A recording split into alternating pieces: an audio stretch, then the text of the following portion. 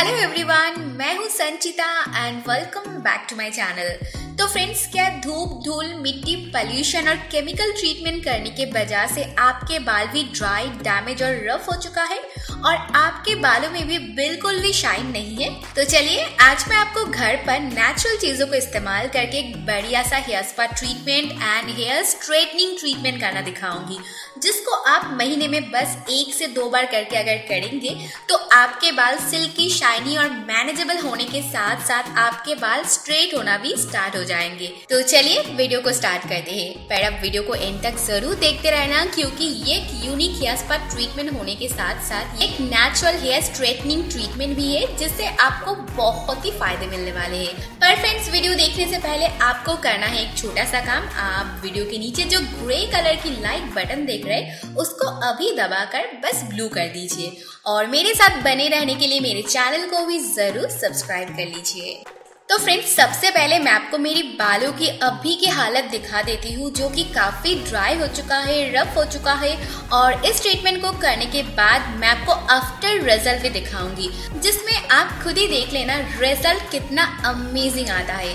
तो चलिए बनाते हैं D I Y natural hair straightening cream और इसको बनाने के लिए आपको सबसे पहले चाहिए कोकोनट मिल्क जिसके लिए मैं सबसे पहले कोकोनट को इस तरह से क्रश कर लिया है।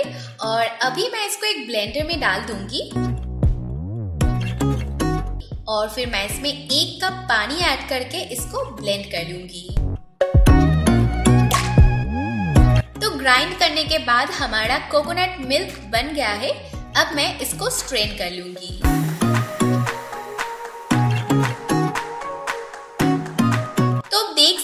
कितना कमाल की बिल्कुल फ्रेश कोकोनट मिल्क बन के रेडी है। तो चलिए अब इससे क्रीम को बनाते हैं। तो क्रीम बनाने के लिए मैं सबसे पहले दो बनाना ले लूँगी और फिर मैं इसको इस तरह से छोटे छोटे पीसेस करके इसको एक ब्लेंडर में डाल दूँगी। और फिर उसके बाद इसमें एक एक करके ऐड कर दूँगी एक कप कोकोनट मिल्क दो से तीन चम्मच ऑलिव ऑयल और दो चम्मच हनी और फिर मैं इसको ब्लेंड करके इसका एक स्मूथ क्रीम जैसा मिक्सचर बना लूँगी।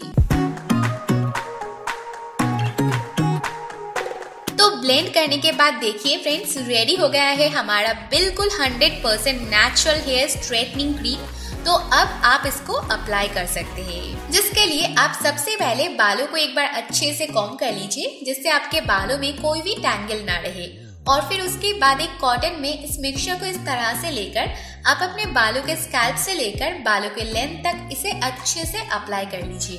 तो इस नेचुरल हेयर स्ट्रेटनिंग क्रीम को बनाने के लिए मैंने इसमें मेन इंग्रेडिएंट्स कोकोनट मिल्क और बनाना को ऐड किया है, जो कि बालों को नेचुरली स्ट्रेट करने में हेल्प करता है और आपके फ्रीजी हेयर डैमेज हेयर को रिपेयर करके हेयर को सॉफ्ट स्मूथ और मैनेजेबल कर देता है।